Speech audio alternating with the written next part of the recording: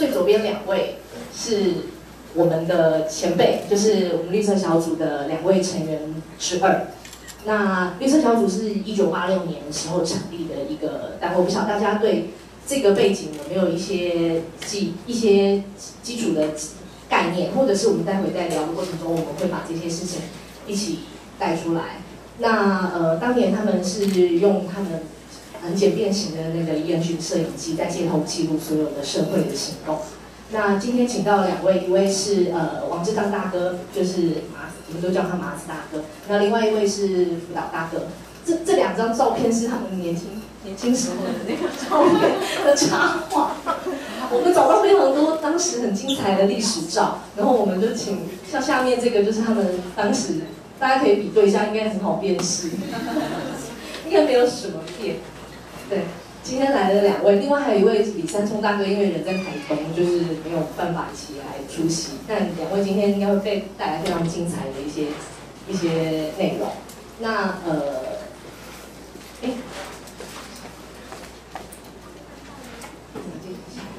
麻烦帮我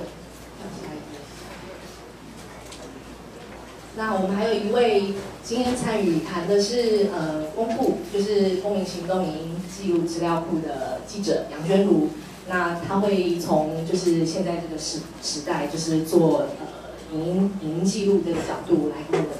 有一些不同的面向的讨论。第三个。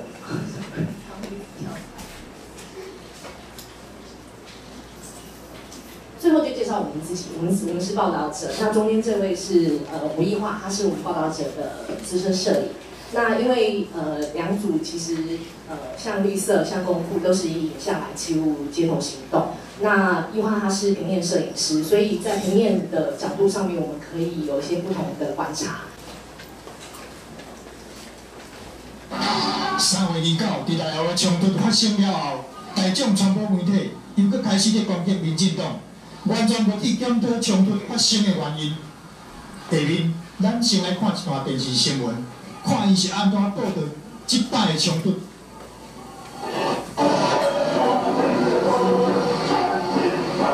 五四点半钟举行，除了造成部分的交通瘫痪之外，秩序还算良好。但是当游行结束之后，民众打算强行进驻内湖国会山庄，因为违反游集会游行法的规定。而和维持秩序的远景拉扯，结果有十一名远景伤势严重。以下就是台视新闻今天晚上所做的最新报道。以拜访资深中央民意代表为由，民进党党员今天下午五点半钟左右，搭乘四十部游览车和大小车辆，前往内湖国会山庄资深中央民意代表的住处。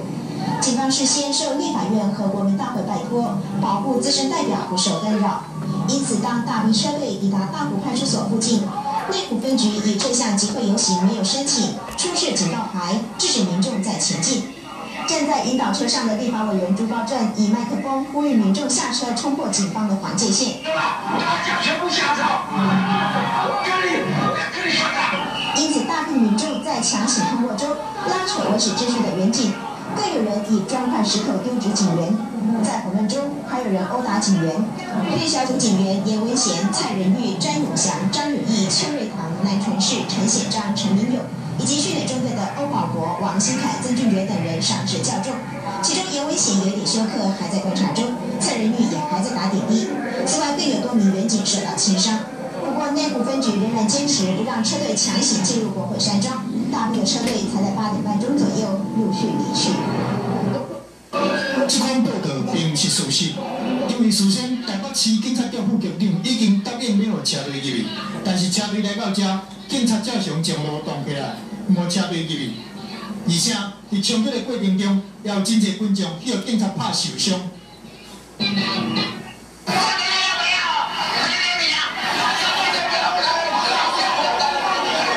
这是伫现场是特殊的资格一委员。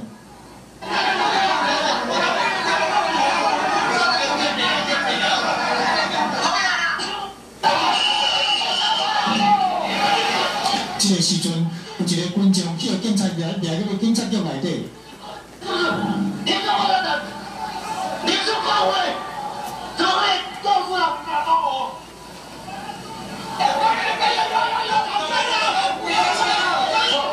记得我亲眼看到有一个我们有一个同志被抓了，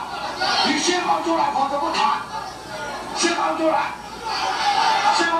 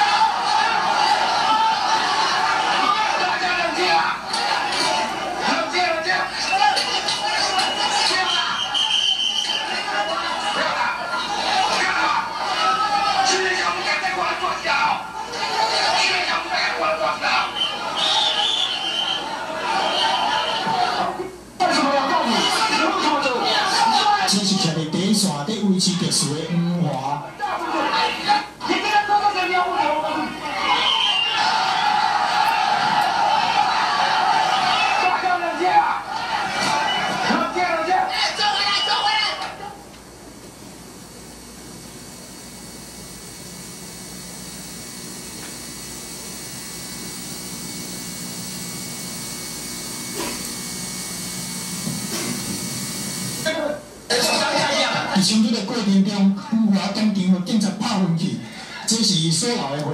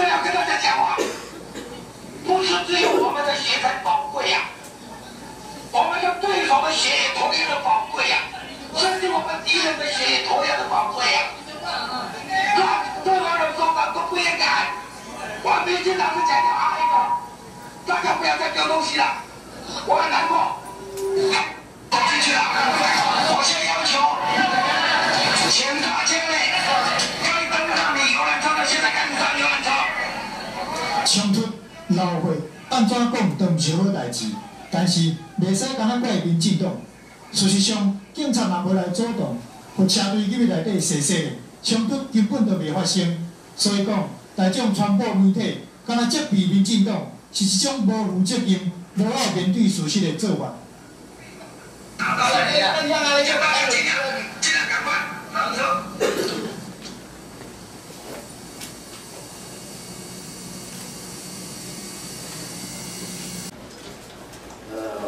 我就先跟大家报告一下啊所谓新闻快报为什么会有绿色小组为什么会做新闻快报是这样子。因为在当时那个年代电子媒体就是老三台，台视、中视、华视，除了这三台以外没有。那我们绿色运作了一阵子，这个是一九八九吗？一九八九？好吧哈，反正就是一九八还是一九八九是，绿色已经运作了两三年。那我们呢，已经建立起一个模式，就是说传播的一个方法，好，传播一个方式。我们利用像，比如说发生了这样子比较有一些冲突，然后，哎，我们很清楚预设得到电视台，包括平面媒体都会是怎么样来抹黑啊，抹黑反对反对运动这一边。我们回家以后，不是先剪一个我们要去卖的影片，啊，呃，我们要去卖的影片，我们会去剪啊，因为我们我们，我们还是就是靠卖影片来维持我们的我们的运作。但是我们呢，第一个动作一定先剪这个东西。那我们运作两三年以后，已经有了这么一个模式，这个东西很快剪出来了以后，主要就是要反击，要反击当时的呃当时的媒体的报道，我们做一个。跟他的一个不一样的一个角度，让大家去比较。那我们这剪好了以后呢，当时传播不是像现在大家这样的想象哈。呃，剪了以后呢，我们还必须要拷贝，拷贝是一比一的速度拷，像这个很短，大概七八分钟而已。那我们拷贝了以后呢，就是可以非常快的速度，来送到全国各地的。民进党党部或者其他公职人员的服务处，或其他社运团体的办公室都有，都可以送得到。在第二天的晚上七点，当时的电视新闻也是中午报道、晚上报道，还有深夜三场。那就是说新闻时间的话，啊，像这个的话，假如今天晚上报的啊，绿色小组的影片的快报，明天晚上七点钟。在全国也看得到，但是你就是要去服务处去看，啊，这我们能做到的就是就是这样子，但是我们就是尽量想尽各种办法去传播，尽量去传播，啊，啊，这个做了以后，我们才要再去剪我们该做的做一个长片的东西。那谈到这方面的话，就说，呃，至于大家看这个可能会有一些想法，是吧？怎么是你？可能有人说啊，立立马赶快了，你也不是不是很客观，这个这个我现在也不不评论啊，也不不不辩解什么的哈，大家自己看就好啊。只要有问题，我们等下可以再讲谈这一点。那绿色的话，就刚刚主持人讲的哈，我可以谈一下当时为什么成立的经过啊。我个人是因为在八零年代我退伍以后，大概是一九八零。吧，还是八一就开始在党外工作，那主要就是在党外杂志。党外杂志呢，呃，但是我一直都没有去任何一个党外杂志做副刊工作。党外杂志那时候非常多，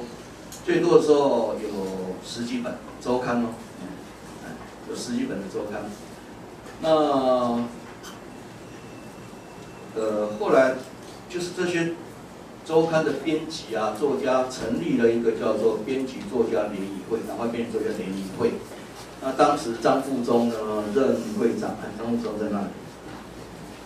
张富忠任会长的时候呢，他成立了一些，就是像我们现在讲的社运的，比较接近社运的一些委员会。那我是比较偏重在关注在呃原住民，原住民的部分。那不管怎么样，反正就是。我把大部分的时间花在这些工作小组上，所以我我就没有去杂志社当一个刊的编辑。我大概一个礼拜接个两本周刊的呃美编，那就是只要这两本周刊不在同一天，不在同一天编辑啊，那我去熬夜个一个晚上就可以了。那我大概非常基本的生活会就。可以了，我才有时间做去做一些这些摄影的工作。我当时我是背着一个摄呃照相机到处跑去拍一些东西。那后来是一九八四年，来到一九八四年的时候，呃，台湾那时候那一年真的是瘟疫年啊，矿灾，连续三个大的矿灾都在那一年。呃，我们去报道了以后，我去杂帮杂志拍照，然后发现说跟报上写的很不一样。哦，就是我，哎，对不起，我我讲的是说，哎，在当时的煤山灾变了以后，有非常多的矿工呢，呃，后来是死了就死了了哈，这没死的反而可怜，就是在医院里面，他因为吸入了太多的，啊，就变成植物人的，啊，或者变成就是神志不清的，那住在医院里面，那我们后来就去采访这些追踪报道，呃，看到跟我。在报纸上看到很不一样，报纸呃隔几隔一阵子就会报道说啊，他们渐渐康复了什么的啊，马上就可以出院。我去以后感觉都不是这样子啊。那家属跟我们讲的也都不是这样啊。家属说，其实医院很想把他们踢出去啊，啊，因为你是占着一个床嘛。那我觉得我们这个虽然港湾杂志有报道，我觉得力量还是不够的。第一个，港湾杂志常常是被。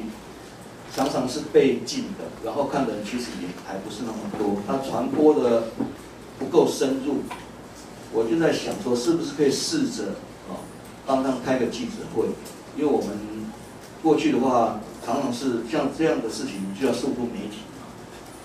呃，可是问题是这些植物人什么，他们没有办法来到现场，所以才想到说，哎，进去医院里面去拍。拍他们的现况，后来呢，剪辑了一个短片，呃，用记者会，效果非常的好，让我就是会去想到说，哎，在党外我们一直在寻找一个传播的一个方式，但是大概就是周刊嘛，周刊都会常常被禁，那比较有可能比较普遍的、全面的、快速的传播的时候，就是选举，但它又是非常短暂的时候，平常呢就只有周刊在维持。那这样子的话，你有再好的理念，很难传播出去。于是我就一直在想，是不是有能有办法去做，呃，像电子媒体、像电视这种东西。可是那时候你知道吗？那个他们那些电视台，他们背的那个机器啊，那整个一套起来，包括整套，大概要一百万吧。那是我们根本不可能玩得起的东西嘛。到了一九八五年，啊，Panasonic 出了一款家庭式的 Home Video，五万块，啊，我觉得这个好像还玩得起啊，而且它体积不大，蛮适合在街头跑，我就买了，买了开始玩嘛，开始开始，一直到也拍了一些，拍了一些，在绿色还没成立之前，主要呃比较呃重要的作品大概就是。一九八六年九月的林正杰的街头狂飙，啊，然后一九八六年底呢，就是民进党是一九八六年的九九二八哈，九二八成立的哈，那所以马上接着就是年底的中央民代的补选，啊，那可以说是历史性的两党的第一次对决，那我就非常兴奋，觉得说啊，这个历史画面要拍下来。一个人很难拍的好啊，也不可能拍的多啊，然后就商量，后来就是找朋友去介绍，找了李三松跟副导过来。我们本来不认识，啊，那时候也有人捐了，就捐了一部吧，捐了一部机器，所以我们两部机器。就这两部机器就是在那一个选举的时候，我们尽量就是能够大台北地区哈，尽量。每一个场次，候选的场次啊，党外候选的场次，领导尽量能够去拍，包括街头的有些看板啊，尽量拍啦。但是其实第一个，我们并不熟悉这这个机器；第二个，其实非常有限的，啊，两两部机子而已，两三个人而已。绿色是这么开始的啊，我们也没有想说哈，呃，拍完了以后还要还要继续拍下去，当时都没有这么想，只是觉得说就把这个选举尽量记录起来。但是基于呃选举到尾声的时候发生了桃园机场事件啊，我想大概有些人知道这个事情。那这个事情呢，呃也没错，当时就是绿色确实是绿色拍了一支影片叫做桃园机场事件，就叫一一三桃园机场事件。那绿色也确实是帮民进党扳回不少选票，这也确实。因为到后来的话，就是大概大家就是媒体呢，就是又开始丑化民进党啊，就是桃园机场事件的时候，只有《智利晚报》《智利晚报》做了一些呃一些报道啊，还有绿色小组的绿色小组的这个录影带，所以到选举后期啊，其实其实民进党候选人大概全国大概不需要传单了，大家就是印印《智利晚报》那一版，候选大家就是印那一版一直发，然后绿色的这些影片大家拿的是 copy，我们也欢迎大家赶快考到考，尽量传播，尽量传播。啊，当时也没有什么这种观念，什么到不到考，尽量传播出去，也确实是因为这些支影片，确实有帮民进党扳回了一些票，不少票。那选举结束了以后呢，我们事实上我们应该就要解散了，因为当时我们三个是在蔡思院的总部，蔡思院总部，那选举犯也就没了，选举结束了。但是我们觉得有点不甘心呢，觉得这个东西好像很值得做下去，而且社运社运动好像渐渐已经开始起来了，像那时像鹿港反杜邦运动已经开始，蛮蛮蛮热烈的。那我在想说，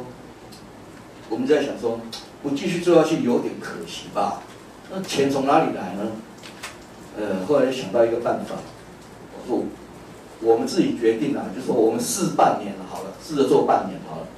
半年我们去找八十个人，啊，找八十个人，八十人呢，呃，一个人每个月给五百块，啊，然后半年就三千块。那我们一个月给你一支录影带，就是纪录片。那我们就是靠这八十个啊，才开始的。那就在这八年，呃，八呃这半年之间呢，就陆续有呃五一九啦，什么这些这些比较大型的活动。我们确实是比较大型的活动哈，这些稍微有点冲突这些场面哈，这这种影片才卖得动啊。我们是靠这东西比较能够卖得动。然后慢慢的，我们就是从这里面走出自己一个模式，就是去卖卖录影带。那后来呢，就是有呃呃演讲会也多了啊啊，就会有非常多的摊贩啊，跟着演讲会在在跑啊，我们都叫他民主摊贩啊，跟跑庙会的一样的，里面也有民主香肠啦哈，民主迪卡啦哈，卖禁书的啦哈，卖卖录影带的，什么都卖的都有。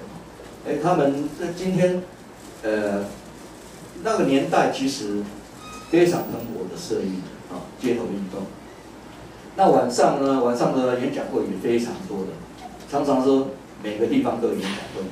那他们就会，他们就会很自动的，哎，今天来把几军快多少哦，全部十几辆车，一二十辆不下去。哎，明天可能是高雄最大场，哦，又全部去，啊，生意人一定是跑到最大场。那我们呢，我们就是。影片给他们啊去卖，那我大概先先讲到，就是我们的绿色成立以后，接下来我们怎么运作哈，还有很多制作的东西，我们等下再来谈好了。好，那副总有没有补充？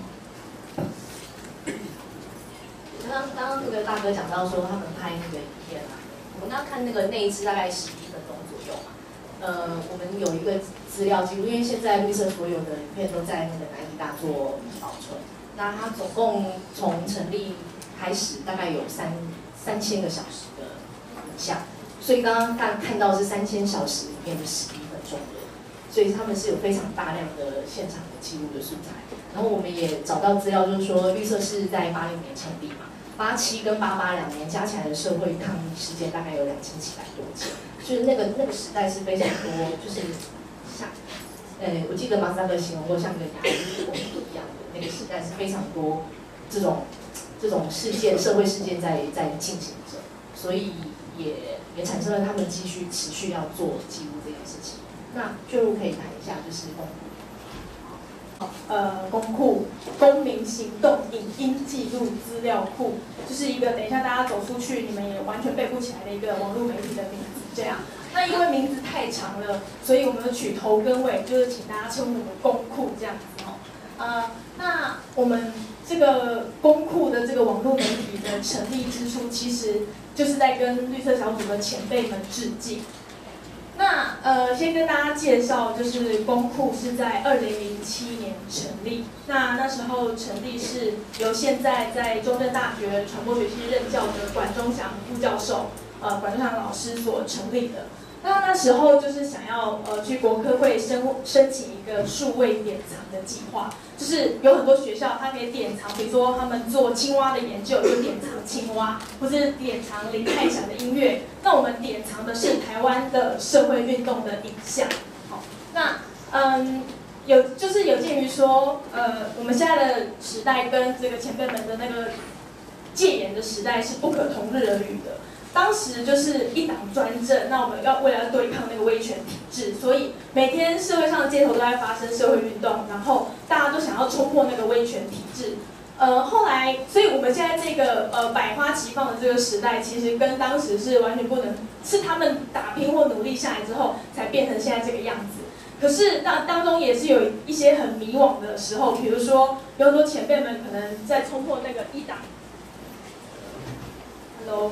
有，就在冲破了一党的威权体制之后，然后呢，现在民进党看起来也有执政了，然后其实我们也要去监督呃民进党执政的政府，它也有很多问题，对，那呃可能这个过程当中有很多迷然呃茫然，那当时管中老师想要成立的时候，他就是觉得说，呃主流媒体也开放了，已经不只是这三老三台党政军把持的三台，有第四台。哦，甚至可能等下前辈可以提到，他们也想争取当时绿色是在第四台之外，第呃三台之外的第四台。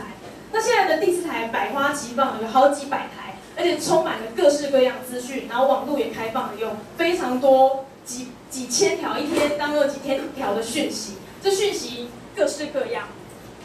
Hello。各式各样，呃，有娱乐的啦，有政治的啦，有凶杀啦，各式各样都是新三色啦，就是迷迷惑了大家的眼球或是这个脑袋。你觉得有好多东西好好看哦，可是就就像刚刚前辈讲的，呃，矿矿工们就是呃，在老三台时代被被扭曲成说他们都都很健康了，然后他们都要出院了，可实际上他们看到的状况不是那样。可是现在我们在百花齐放或是超多讯息的现在，我们又呃何尝可以看得到？比如说像八仙乐园的一些晨报的受害者，他们后来到底怎么样？的确，我们还是有主流媒体努力的再去追踪，就是晨报患者后来复健健康的状况怎么样。可是你可能就是迷惑在其他的娱乐、其他的新三色，或是其他好好看的农场新闻的消息的时候，你可能也不想看晨报患者后来怎么样了。即使我们现在是有能力，每个人也可以用自己媒体的力量去呈现、去追踪这个呃很多议题的后续。可是这些议题变得很无聊，或大家不想看。那其实公库一直在记录的就是这些大家可能会忽略掉的，呃，然后呃很多几百条无聊的记者会、无聊的社会运动，我们把它记录下来。那可能我们会不像一般的主流媒体那么的好看。那我们的新闻就是我们会呃全程记录的呃每一场社会运动，我们把当场一两个小时的影像剪成十分钟以内的影片，然后上传到网络上哈。那大家可以现在看到是我们呃记者平常工作的状态，就是一个跟其实我们现在公库所做的这个采访社运啊，采访的这个工作状态，其实跟主流媒体做的其实都是一模一样的。可是为什么我们？呃，很多网络媒体或者很多独立媒体，我们比较喜欢称自己为另类媒体。为什么另类媒体反而变得另类的？我们在采访这些，就是呃，我们觉得是这个社会该记录的公平正义的这些讯息，为什么反而变得另类的？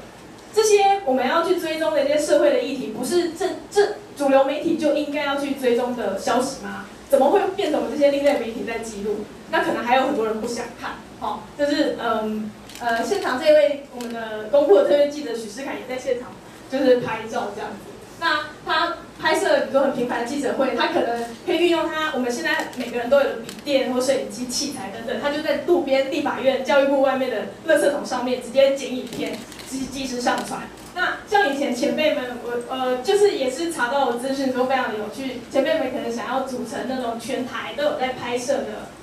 拍摄的人，然后想要请南部的那个影像一直就开车，然后再到台北来剪剪辑，然后可能再请他原车载回去，把那影像做全台的散布。可是现在我们就是这么的方便，其实公户好像就占着这个科技，其实就是科技自然的转变，那我们的占的好像是优势，好像也是一种呃一种优势，但是也是一种就是缺点吧，因为每个人都可以是媒体，那每个人都可以做自己记录的呃议题这样子。那公库前身是国科会计划，其实二零零七年到我们的那个计划到二零一二年，然后我们以前是富家子弟，我们可能不会像前辈们就是很辛苦要去找钱。在前五年的时候，呃，我们申请的这个数位典藏，可能每年有一两百万，为我们垫下了一些根基。比如说，我们记录了反国光石化运动，或是呃，我记录了一千多则的这些影像啊，那些议题哦，很多很无聊哦，大家都不知道。就是拍了哪些，但是比如说有一两则可能会打出一点点小小的知名度，比如说像高雄在五年前二零一零年的第一次同志游行，我们拍摄了一个呃叶叶永志少年的妈妈的这个在游行上面的谈话的影片。那为什么会记录到？其实就是很简单哦，就是每次你们看到主流媒体记录同志游行，就是花枝招展的水男孩。或是小瀑布，然后肉很多，再不然就是哪一个艺人去同志游行站下，你就觉得哦梁咏琪还是谁谁谁去，你就觉得很好看。但是呢，很少有媒体会把这个同志游行待到最后。那公布就是一个全程记录的媒体，所以在那一场游行，我们就是待我就待到最后。那我们呃可能在拍摄技技巧上，也不是说就都要很稳定，或者画面很漂亮。最后可能我就是参与游行，我就直接坐下来听他们的表演。最后就出现了一个就是叶永志少年的妈妈，然后发表一段谈话。然后也老实跟大家说，就是呃我根本就不认识叶永志少年妈妈，我不知道他是谁。结果到了现场，就是他一上台讲话，全场的台下的那个参与游行的人都哭成了一片。然后我就想说他是谁啊？也太厉害了吧！然后，呃，我就把那影片拍回去了。之后，我的同事就跟我说，叶妈妈的影片非常的重要，一定要剪一段上传。就这则影片就成为公布史上点阅率最高的影片，然后也有带给我一点虚荣心，这样子，就是也有没想到我可以拍到这种独家画面。那这个影片我拍了五六年，我也不知道它会发挥在哪里作用，可能有很多公民老师会拿去使用。结果，呃，去年、今年那个蔡依林演唱会。哦，在他的巡回演唱会里面，也是为了要，呃，他的专辑名称叫《不一样又怎样》，也是想要跟大家讲说，这个很多社会上，呃，每个人不一样的面貌又怎么样？所以他也有特别做了一个叶永志少年的议题，所以就引用了我们的影片这样子。就是呃，公库觉得，呃，在这过程当中，不知道什么时候可以发挥到作用，什么时候可以进入那个那个那个片段哦。就是公库，呃，在。国科会时期的时候，有一些一些就是拍摄的影像。那后续在四年前，呃，两年前，二零一四年，我们其实国科会没有钱的，就是富家子弟当晚的，每年一两百万就没了。那老实跟大家说，我也不像就是前辈们这么热血。可能刚开始我是个社运青年，然后一头栽入了公库。可是是因为公库有薪水领，所以我才在这边工作。那说一点长没有钱呢，我就认为说，哎。没有钱了，那我也没有薪水领了，那我也可以离开，我就可以换工作。所以当时二零一二年觉得说公库应该就是要解散了。就当时因为我们出了一本书叫做《公民不能写》，想说当做这个毕业作品。结果呢，我们就想说各自解散。那管仲祥老师也就是回去当他的教授，然后我我也可能去找别的工作，我也就没有要继续拍摄了。结果呃，当时我们出了一本书，到处巡回演讲。在这演讲过程当中，我们跟每个就是来参与的人就说公库的运作方式啊，公库以后不不会再拍社会运动哦，就是我们上传了一千多则的影片，就是留给大家慢慢欣赏，之后就不会新增喽，这样子跟大家跟跟大家 say goodbye。结果呢，当时呢有一位有一位金主，一位先生，他就对关老师说，关老师，我觉得你们做事情很重要，所以我要捐一万块美金给你们。但是呢，管老师心里就想说，哦，谢谢这位先生。但他心里就想说，这个人一定在胡乱，就是他不相信有人真的会无偿的，就是来捐赠一个另类媒体。结果后来他回家的时候，就是有写信给这位先生，马上写信给这先生说，谢谢这位先生要捐这个一万块美金给我们哈，希望你可以就成为我们支持的动力。结果一个礼拜、一个礼拜、两个礼拜、三个礼拜过后。这位先生一直都没有讯息，我们觉得啊，果然是这样，我们果然觉得就是人气就是这样，不会这样子无偿的提供。结果后来再过一个礼拜，这个先生回信了，他说：“哎，关老师不好意思，前阵子我在国外工作，所以就是没没有回你。那我刚刚已经汇了三十万台币到你的户头去了，这样。那这个三十万，其实对一个网络媒体来说，说多不多，说少不少，但是它成为了公库的第一桶金，然后让我们决定我们可以继续走下去，我们想要继续走下去。所以二零一二年一直空了两年，到二零一四年，我们成立了社团法人，我们希望借由用小额募款的方式，跟报道者一样。就是每一位的这都是我们的老板，所以我们现在有一两百位的老板来支撑着我们，不管是用几百块或是几千块，然后来就是呃维持着公库的运作。那公库现在有三位正职的记者，就是全职在拍摄台湾的一个社会运动。那呃也不是说所有的冲突都这么多，可能以前每天。可能以前前辈们记录了这么多，三千小时刚刚看到的几分钟里面有很激烈的一些画面，但跟我们一样，我们现在也是记录了这么多。其实有有我被警警察抓走了啦，或者是我被带回去警局的啦，这种的经验其实手指头就数得出来。代表说，呃，并不是所有呃所有社会运动并没有说看起来都这么激烈，其实有很多是呃很很平静的这样。呃，所以大概就先介绍到这里。刚刚就你讲到那个，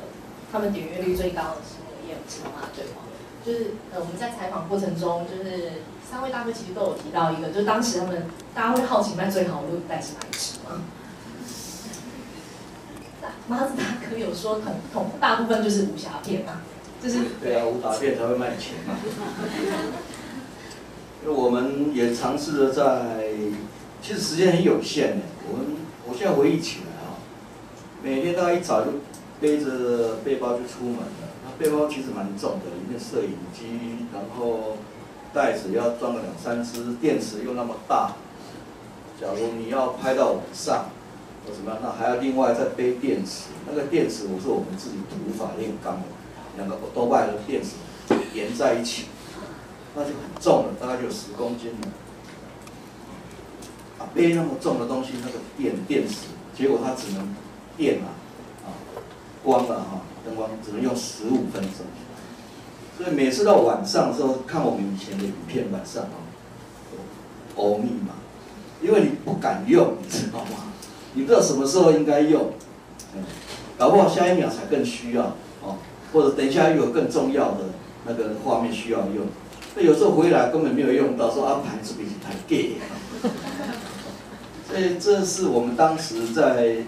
在生产这些影片的时候的一些比较有趣，现在想起来有一点心酸的过程啊。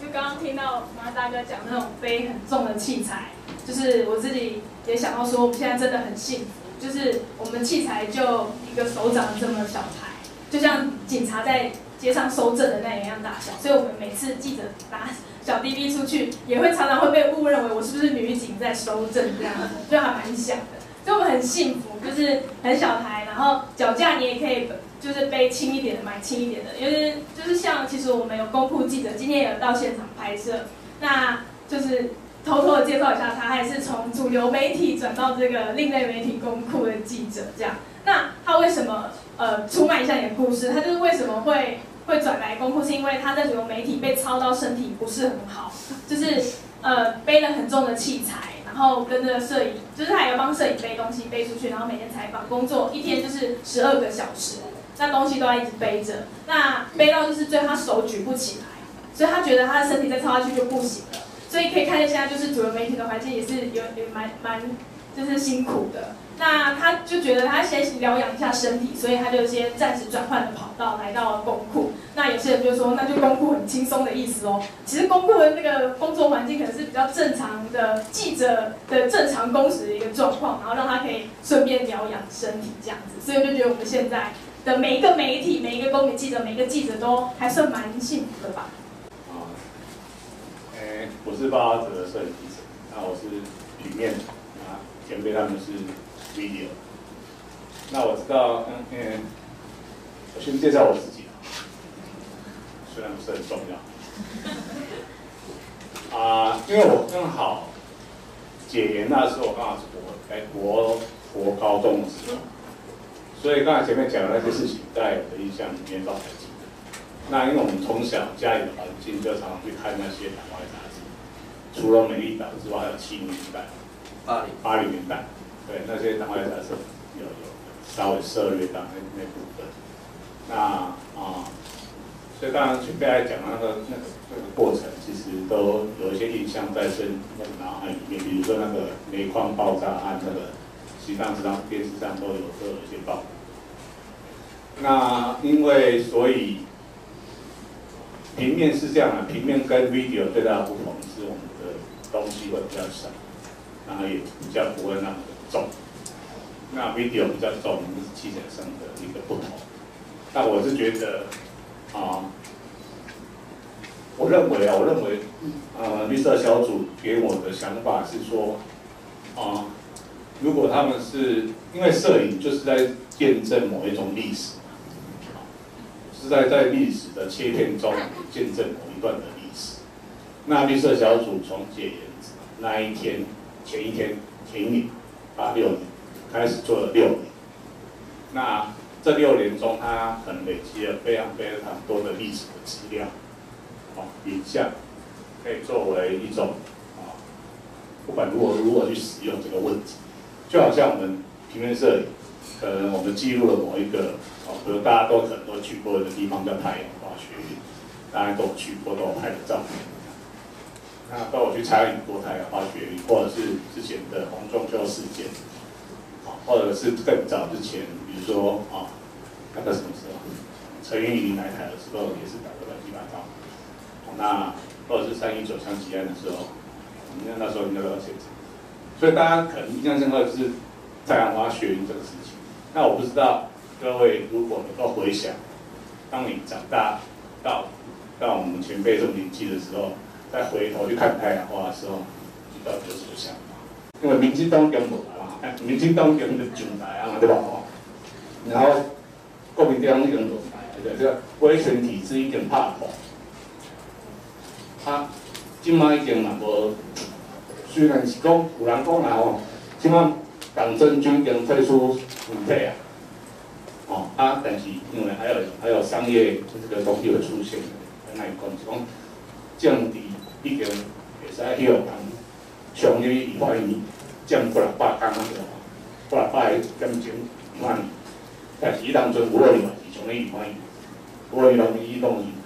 其实立法院在五二零的时候就全部就全部就就就联盟他来来那个来啊改改啊，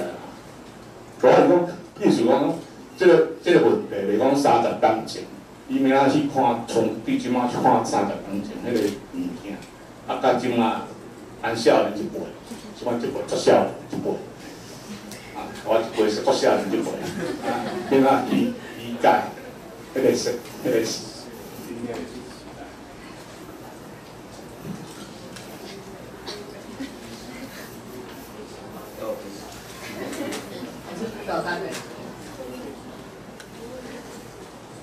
历史，历史没有错啦。历史就是，就是前人一步一步、一代一代这样走下来。那我们回头再去看这些东西，呃，你也可以用一个比较感伤的态度，那或者说用一个比较理性的态度说啊，原来这些我们现在。目前，假如说在民主上或者在我们生活上，有那么一点点跟过去不一样，那这可能就是这里面有一些人努力过来的啊。那我们在当时，我们就曾经有做了一套的录影带，啊，就叫做《台湾是这样长大的》。那其实我们就是有在讲这个东西啊。我觉得不一定是要三十年后再来看的，啊，你或许你两年以后、一年以后。你再去看当时或者某一个事情，你会觉得不一样。你可能你的心情转变，你心境转变，也可能真的是整个时代是不一样的啊。就像刚刚呃一块也讲到哈，现在已经是两党轮政，对啊，再过不到一个月啊，就是换民进党执政啊。那其实我们已经慢慢习惯了啊。并没有说哪个党又怎么样啊，真的，现在现在讲起来就是这样子。那以绿色小组的立场来讲的话，假如我们现在还存在，都还继续拍片的话，那我们的立场还是一样。我们并我们从来就不是民进，不是站在民进党的在那个年代，我们是很自然，大家会把看待我们是这样子。我们本来就不是民进党，啊，那我们就是还是站在一个，就是根本就是偏这边的嘛。我们站在比较弱势的这一边，我们在社运的这一边，我们站在人民这一边，我们的角度，我们假如会继续做的话，还是站在这个位置上。基本上我们的本质是这样。补充一下，就是前辈他说我们就是站在人民这一边，那公库的宗旨其实就是跟大哥讲的完全一模一样，就是我们就是站在人民这边，然后是处在对立者、诠释者的对立面。对，可是嗯，很多人会问，其实不管是问小组或是问公库，就是甚至我去校园座谈，很多学生就问说，那当一个记者媒体不就是要中立客观吗？那你们觉得你们自己是中立客观的吗？那我们我我们我的想法其实跟刚刚就是王大哥也有讲说，没有完全客观这种事。就每一个媒体在选择他们的素材，然后选择报道方式呈现的形式，就已经有他们的一个立场在。就每个人都有自己一个主观的一个呈现方式了，所以每个个人都很难讲自己是客观。好，那所以我们秉持我们是呃客观但不中立。我们在现场呢，我们不会跟着就是抗争者喊口号，纵使我们每个加入的记者。呃，有的可能是前身是社运者啊，然后加入了这个记录的行列。那像我就是呃，也有参与社会社会运动，对社会运动有热血有兴趣。然后最后毕业之后，就是觉得说主流媒体环境不好，觉得说这里好像可以，既然既可以就是让我做理想的工作，然后呃劳动环境又不错，所以我就来到这里。那甚至有的记者他可能对社会运动是。呃，一窍不通的，他就只是就觉得这对这个议题有兴趣，然后来试试看。他可能也没有参与过社会运动，然后就来到了公库做记录。那，呃，就是我们会我们在现场，我们不纵使是同情这些弱势者，或是同情基层的民众，然后我们是为他讲话，但我们不是为他们讲话，我们是要让他们讲话。我们的影音为什么会设立在十分钟？就是很大篇幅是让基层的人民自己发声。那呃，可能刚刚快报里面是有加旁白的，不知道大哥其他的影片是不是其实就只有影片，还有旁白吗？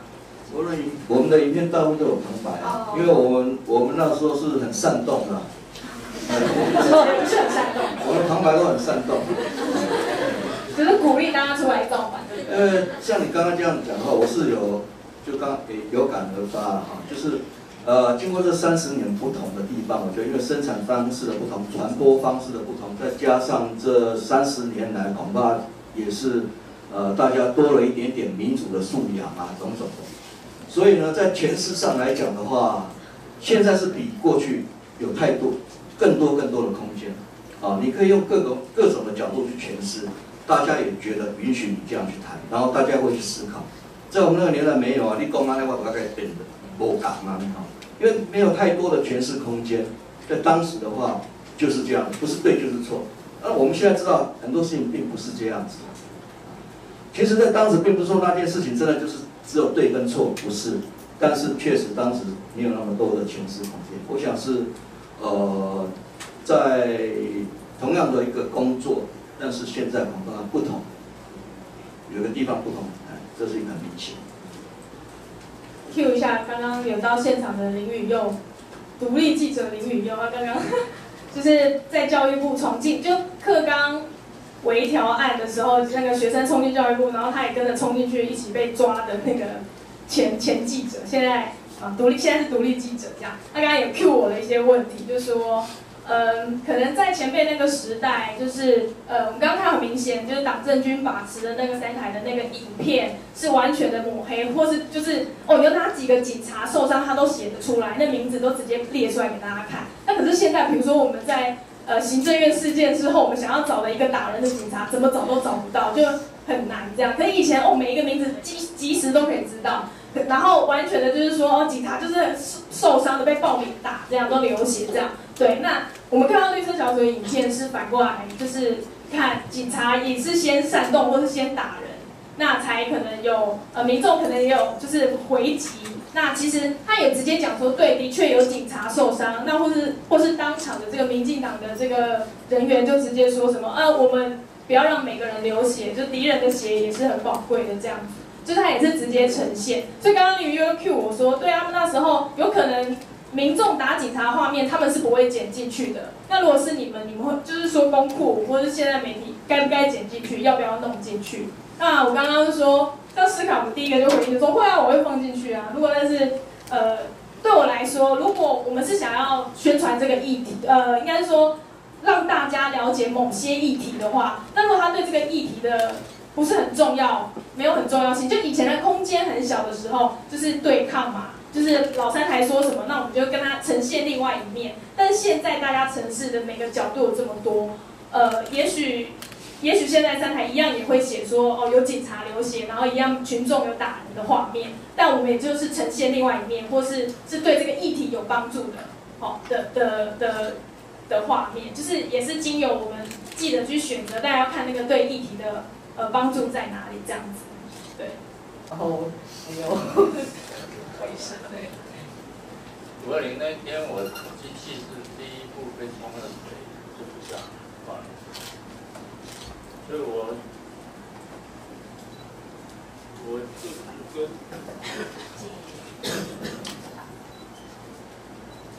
我只记得我后来就一直在那静坐，因为我没有没有武器了，所以所以，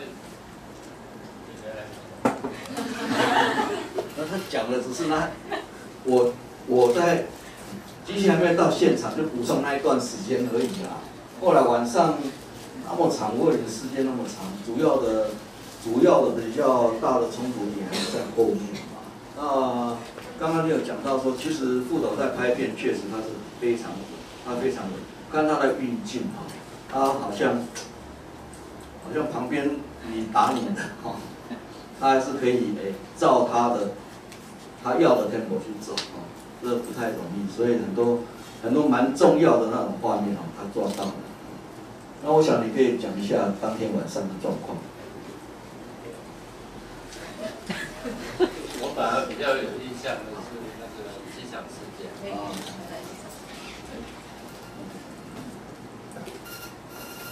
机场事件，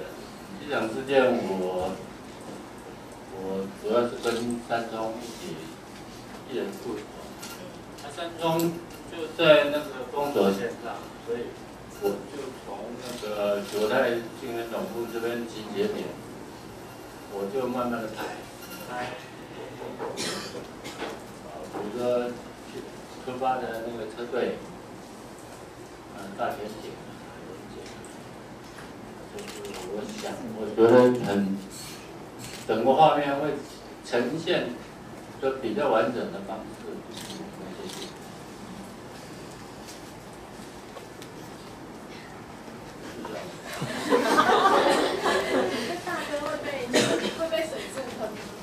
有啊，我我是只喷两次，所以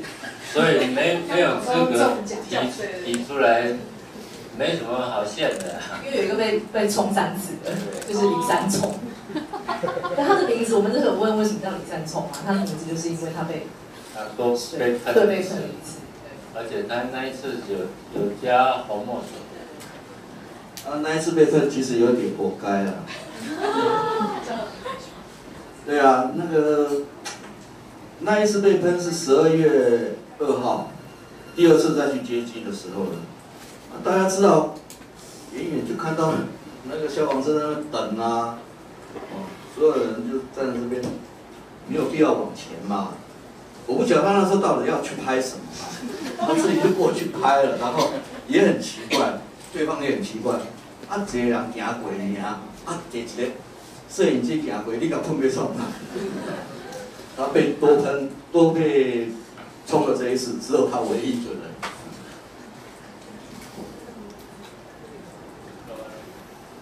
哎，我我的印象是这样。三中应该是同一天冲三次。哦，那他就多再多一次，是是。那个是第四次了。哦，那一天只有他一个人唯一边冲了。是有些记忆是比较，我，不过机场事件是真的是蛮震撼的，蛮震撼的。我们就觉得你在那样子一个封锁线上啊，大家被集结在那个地方，然后呢，就在等等一个明知道不可能回来的一个人啊，但是呢，借着这东西就是要发挥一个，要，就是说回家是回家是人最基本的权利嘛，要凸显这个东西。那这当然也有一些，就是说，嗯，政治上的运作了，所所以是在选举的时候，所有东西都是这样子的啊。运动本来就是这样子，社运也是要找一个点，找一个时机。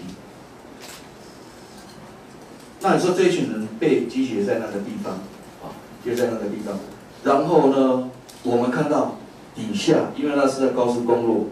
呃，机场旅馆前面那一段，啊，比较高。下面呢，那时候是跟 K 波一样嘛，哦，很多芒草啊什么的哈，它好像下面有一条路吧，哎，战车就是来来去去啊，然后天上呢就是直升机在飞，哎，哎有点那种肃杀的气氛在，又是冬天，啊，呜呜叫的风，啊，那直升机呢在天上飞，然后不时呢还跟你喊话。乡亲啊，回家吧，不要被利用吧，什么的，就是这种东西呢，真的就是这样子喊话。哎，更妙的是，直升机竟然撒下那个那个纸条来。哦，我还记得，我还记得我那时候拍到一个，嗯，非常巧的一个画面。他撒下一些纸条，啊，纸条，它就飘到我飘到我这边来，飘到我这边来，我就刚好顺手接了，就摆在摄影机前面就拍。我还记得就是叫你回家什么的，然后这样所以那是好像你感觉上你看那部片子蛮有趣的，好像是一个纪录片，但它又像说好像是应该是有有有有有有安排的，哎，很多东西都是怎么怎么又有战车又有又有直升机，然后又有蛮好蛮好看的，大家去看吧，蛮好看的。现在现在这个画面就是那个这个影片的那个截截图嘛，对，对，当时那时候出发的队伍，对，然后再迎接上面那些点状。对，刚刚那个王大哥讲到那个，嗯，直升机上面飘下那个纸条，然后其实我今天有看影片啊，就是恶补一下那一段画面，真的就像你说安排好。不是你接到，是飘下来之后，由那个坐在地上的那个前去的支持者接到，然后他就直接递给你，然后你直接拍。我现在想起来，我想起来，是好，我不是这样接到，是我这样接到，就在这里，好，那就在镜头之外，拿给他，我看他放到这么久拍，那个是李三冲啊。哦，是这样，我以为是一个支持者，对，那个画面就真的是。很顺，那我就想到，我今天又看到另外一个，也是绿色小组影片，也是很很刚好，画面是有老兵要争取要回返乡。对，那个在影片一开始，因为它是一个母亲节，在国父纪念馆，就是有妇女团体就是要去办记者会，对，然后他们就讲他们诉求，可是刚好旁边一群老兵也说，我们也想要回家，我们想念我们的妈妈，他们要争取返乡，因为当时的环境是不让他们回去呃大陆的。那在那个画影片的画面，第一个镜头就是一个妈妈对着小孩说：“这个气球给你哦，你要拿好，不然那个气球会飞掉。”结果就是下一个镜头，马上就是那个小孩子就放松，然后妈妈说：“啊，飞掉了！”好像就像是那个老兵的感，就是我觉得很像是老兵，他很想要回家，可是他就跟那个气球一样，他急着想要回家，可是他被卡在树上，他回不去。那我想说，天哪，光看这个前面画面，就是也让人。太感动吧，又加上后面那个老兵，就是有跟台北的路人，就是一个女性在对谈，就说为什么我不能，为什么不能有回家的权利？其实高官或是有钱人，他们都可以自由的进出大陆台湾，那为什么唯独一般的老百姓跟老兵，我我跟你们来了台湾贡献这么多，可是我却不能回家？所以一直在争取这件事情，然后他也跟路人在讲这件事情，是一个讨论的过程，然后我就觉得非常的感动，就那个影片。君主讲的这个应该就是我们现在播在那个呃绿色小组影像协会，呃那个脸书上。我们现在开始我们在做那个三十年的回顾回顾影片，大概每个礼礼拜会有一则啊，就在我们脸书上啊，就三十年前，像这个是上个礼拜播的。那我不晓得那个林佳敏从小就有演戏的，他刚刚讲的那个小孩叫做林佳敏，他他去年拍了一部电影叫做《东所》，那那个妈妈是杨祖君。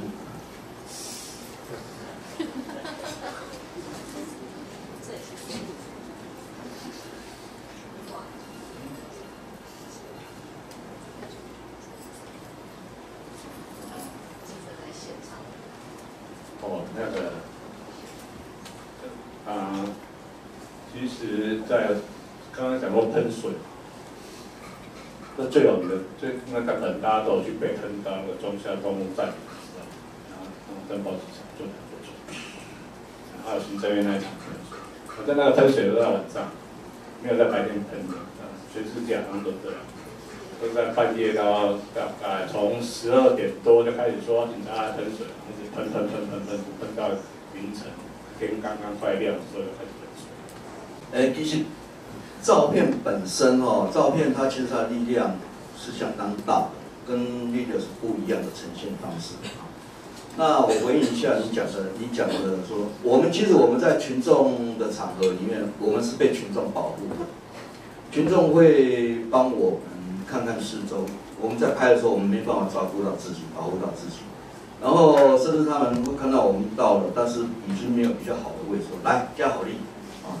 那我们跟群众关系是这样子，那跟警察当然是对立的啊，对。但是警察不会说特别要打我，因为在那个阶段那个时候，事实上他们要顾的不是我，嗯，他别。然后呢，他也不太敢，因为搞不清楚啊，他不见得搞得清楚这个人是谁啊，因为他们里面也有他们自己的一些人在拍啊，哎。那其实说场面会不会怕？会，尤其像说不怕那骗人的哈，就像五二零啊，像好几场像屠城事件种种的，好几场都是那个警察，尤其是宪兵，这个齐眉棍啊，长长的棍子从后面追着过去，你那时候你怎么办？啊，你索性干脆停下来不跑了，你跑不动啊，你背那么重，你你一定跑输人家嘛。我就干脆整个停下来拍，哎，那画画面就拍得很漂亮啊！看到前面是群众在跑，然后呢，后面就是一根根的棍子追过去了，啊，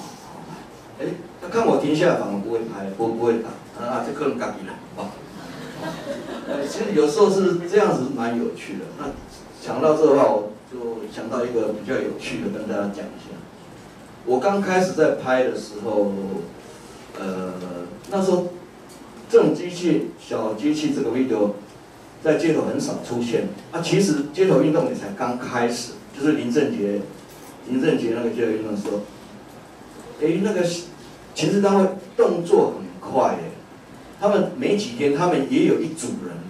有一组人跟我的机型完全一样的，嗯，把他说 N one 就就拿那个，然后呢，他们是四个人一组，四个人一组，是就是宪兵，看他们就是离。以那个领头的宪兵，呃，他们甚至四个人嘛，所以有时候需要高的时候，哎，他们会叠起来，叠起来这样拍。然后有一次就是哎拍拍游行嘛走，啊我，就有有一次走到市议会门口，在市议会当时有个天桥，我说他们走过来问我说，你怎么有那个背包啊？因为我我有一个。背可以放放那个机器的，他们是用提的啊，他们没有啊。那你要申请啊。他搞不清楚我是谁，你知道吗？刚开始是这种状况，就是刚开始拍的时候，群众看到我在拍这个东西是闪躲，是闪躲，因为在当时能站出来、敢站出来的人，他一定是很勇敢的。他不知道说你是谁，你拍这个东西以后，他被拍了以后会是怎么办？会是怎么样？啊，会闪躲，嗯，那有些比较就会拿什么拿包包来挡挡我的镜头，但是不敢什么有任何的比较想要对你怎么样的动作，完全没有。那等到大家比较熟悉了这些运作，然后街头也走多了，有那就不一样哦。啊，那个时候就是能在群众里面，就是变成连这个拍摄的角度什么都是对立的。哎，我们本来就不可能站在警察那边去拍的，我们进不去。哦，我我们也没有记者身份嘛，我们进不去。那假如他们情治单位为什么也不敢走到群众里面来拍？进来一定温戏呀，哎，是这种状况。那所以后来绿色当然拍到后来就是大家都很认同了啊，群众都认同绿色啊，这个改也能改变这边。所以啊，也有一些单独个人开始在拍的，包括学生什么，他们会来跟我跟我们要贴纸，我们的那个 logo 的贴纸啊，熟悉的朋友给他贴的，那就安全，继续贴的 OK 了。所以当时的我们在现场拍，我们的身份就是这样子，这是我们的身份。假如要说你你们是记者吗？我说我我们是这样的记者啊。那我嗯，呃，没有关系，你有什么问题？好，那我我想我谈一下那个好了哈，谈一下就是我们我们其实一直在想尽办法要去寻找更好的一个传播方式。然后生产方式当然就说，随着我们也稍微有点钱了，简介的设备也可以更新啊，机器也机器差不多了啊，那简介起码有比较好一点设备。但是呢，传播的方式我们一直在突破，一直在想办法突破。所以刚刚主持人也有稍微提到，还是娟有稍微提到，讲到说我们曾经试着想说，哎，把把所有。把在街头拍的这些人的影像，全部都大家一起共同来制作。所以我那一年呢，是一九八九年，一九八九年选举前，我就写了一个计划，叫 ENG 联盟。啊，我们这个东西就叫 ENG 的啊，ENG 联盟。那我呢，就是分别去找从屏东一直，嗯，高雄、台南一直上来，到时有人在拍哦。我把这个这样子的构想告诉他们。我的做法就是这样子，每天呢，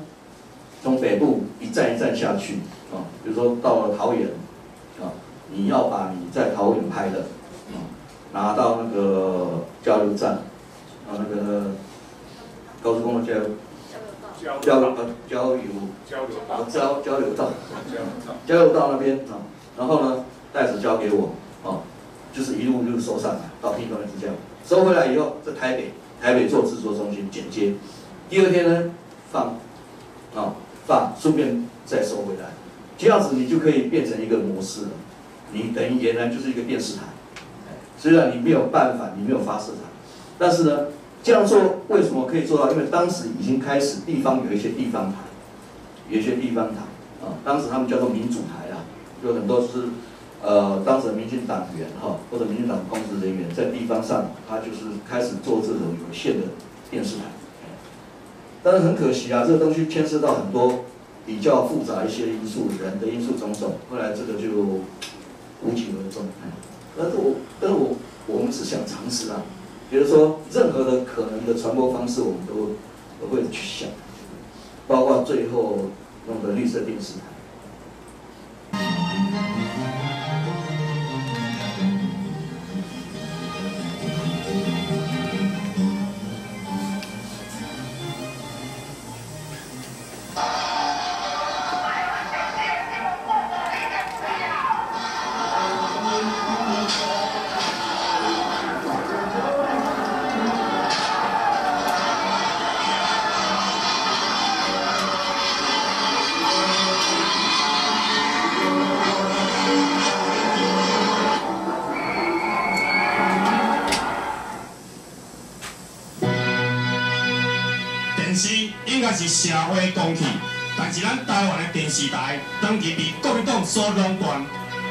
今日起，我要用实际行动拍破这种不合理的局面。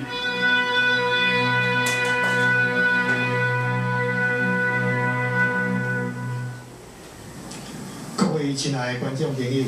欢迎你收看绿色电视台的节目。首先，伫遮甲大家请安。各位亲爱的观众朋友，欢迎你收看绿色电视台的节目。首先，在这里跟大家请安问好。我是绿色电视台的记者李世秋，李世秋。我甲台视的李世端、华视的李彦秋，并无啥物亲情关系。即点，首先伫遮甲大家做一个声明。大家拢知影，长期以来，咱台湾敢若有三间电视台，啊，佫真拄好三台拢国民党的。电视台生意遐尼好挑，台湾有钱人遐尼济，是安怎无人要另外去设一台，放互国民党迄三台变做孤行独市的生意咧？各位观众朋友，毋是无人要说，是国民党无要互人说。别人若要申请电视台，国民党一直拢讲袂使，袂使的理由是已经没有频道。没有频道其实是一种欺骗社会的讲法。咱厝内的电视拢有十外个频道，台视、中视、华视，总下甲中央嘛才三个，上少也有七八个频道，空伫遐无得用。现在你所开的频道，都是其中的一个。国民党讲没有频道，就若像过去报金的时代，伊讲报纸无够用，所以毋准新报纸成立共一款。目的拢是为着要垄断传播媒体，传播媒体受伊控制，伊就会当扭曲事实来制造民意。新闻乌白甲你报，重要无要报，啊无重要报甲规大篇。更较野兽的是，我会甲你报做白，啊白则甲你捏做乌的。啊若是因党的，毋管伊啊变，全部拢讲好听话。啊若意见甲伊无共款的人，譬如讲民进党的，伊就讲你是有心人士啦、阴谋分子啦。啥物话歌手，啥物笑话都敢讲出，反正敢若三台尔，逐个也无伊的法。啊，才有一寡王理上看甲高火了，少年家仔看甲规人拍火。啊，若性格较歹，连电视都想要甲弄无看。各位观观众朋友，对今日开始，你毋免去国民党的电视台安尼甲你入台啊，因为绿色电视台已经伫今日正式成立，开始播出。虽然国民党一再强发讲，任何人拢袂使家己设电视台，若无就要掠去关。但是为着要突破电视台长期受霸占即种无合理的代志，阮甘愿互关。接落来，咱就要开始来报选举的新闻。有伫收看的朋友，请你赶紧甲你的厝边隔壁讲，叫伊电视开好开，频道调好势，大家做伙来看。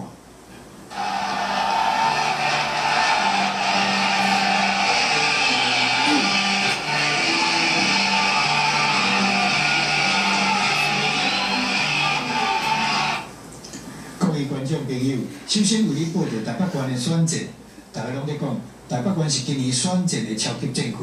一开始，李登辉总统就放出风声讲，总统的故乡绝对不能沦陷。不但总统，甚至连总统因爸嘛加入选战，情势会使讲是真紧张。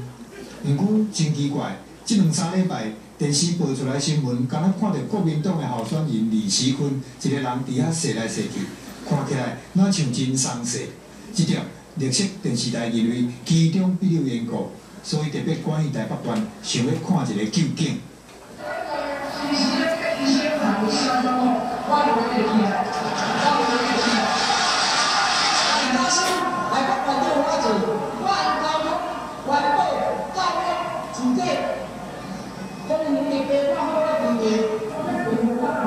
各位观众朋友，现在你所看到的是台北县长候选人游青的证件场。我本来想讲三台无爱报游青的画面，大概是因为场较冷，参记者的分大气翕，结果竟然是流热滚滚。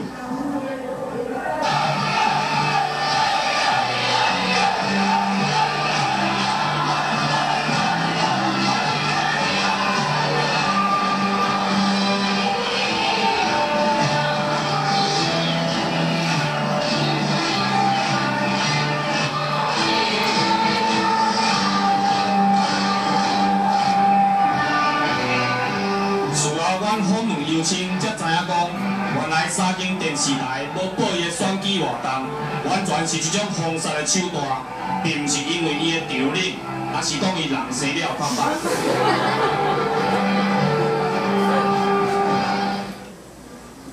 另外，金枪有咧讲，伊想要邀请李锡坤上电视台公开辩论，但是三台拢无答应。关于即点，本台直接公开表示，阮随时愿意提供时间，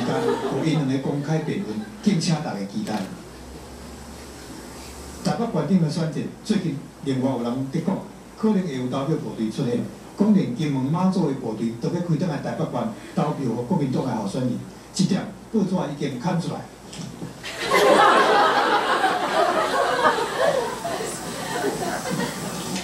有关投票部队，过去大家拢听真济，但是大概无偌济人亲目睭看过。毋过，经过本台的采访，投票部队的存在是千真万确的事实。为着要大家进步了解真相，下面咱做伙来看一段投票部队的实况。各位观众朋友，现在咱所看到的是三当前新德市选市议员的时阵，轰动全岛的投票部队。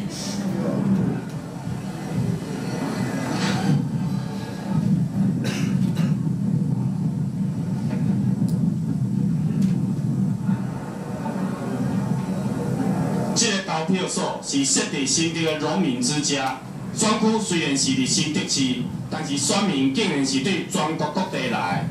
现在游览车一车一车载来，就是国民党的投票部队。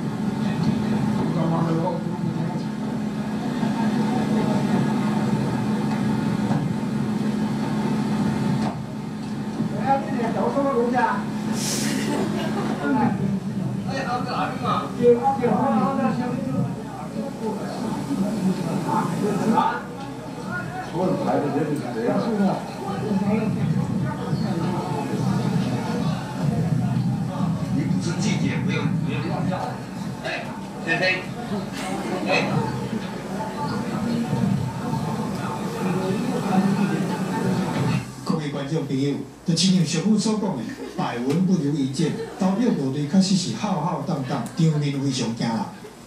接下来，咱来看一段较轻松的，也就是选举期间国民党的民众服务站上爱举办的李民联欢大会、李民联欢大会。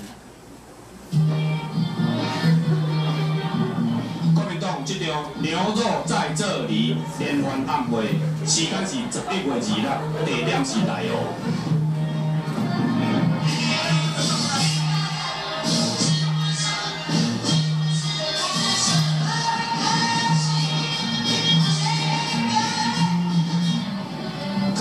牛肉肠，拢有去哦。国民党还给人家摸那个菜，奖品非常丰富，什么瓜哥蛇都有。最后，我们再请我们前常委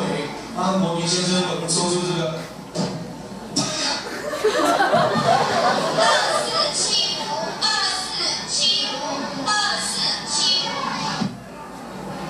怪一寡选民无爱去证件场听证件，也不怪国民党候选人证件会唔办，走来遮笑。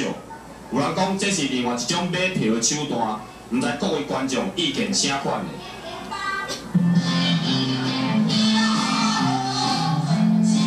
好，各位乡亲们好，年不见，祝各位快乐。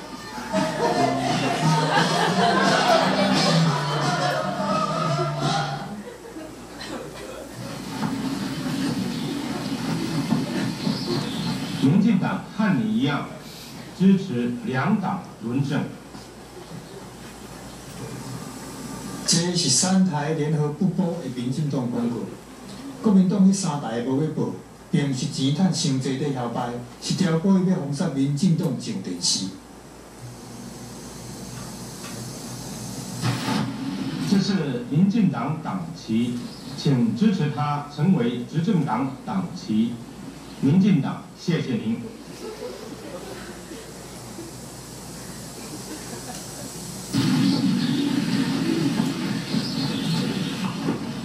民进党和你一样心中有台湾。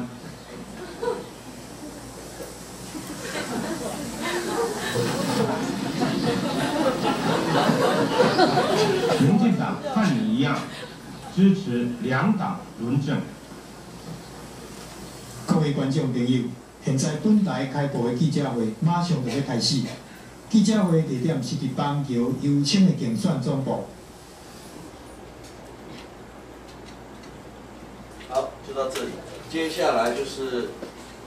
接下来就记者会开始。这是在记者会之前先播的。这一段已经是就是无线播出去了。那你们觉得拍摄手法不行？结尾，结尾还蛮酷。不是这样才好玩吗？这个脚本当时是谁写过？可能就是三松写的吧。哎，这位就是三松，他不是四秋啊。好，那刚刚那个是一个一个暖身，就是大家可以就刚刚影片或者是我们刚刚讨论的部分，继续再问他们几个问题。有没有人想要提问？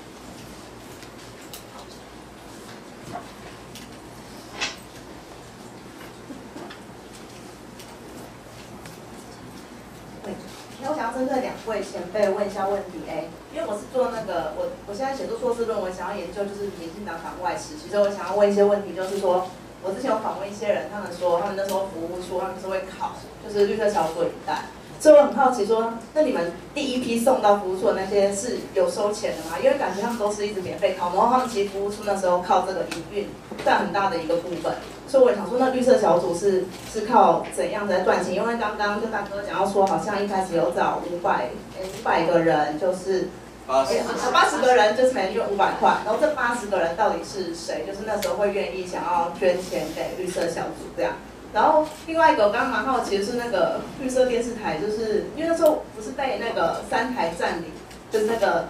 被他们掌控那个电波嘛，所以绿色电视台那时候怎么播出的？就是我们这个时代是没有办法想象说这个播出的画面是怎么样子的。我先问这几个问题，谢谢。